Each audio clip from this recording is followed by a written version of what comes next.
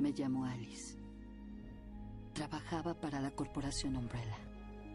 Un laboratorio subterráneo secreto que desarrollaba experimentos en armamento viral. Pero hubo un accidente. El virus se esparció y todo el mundo murió. Pero no permanecieron muertos.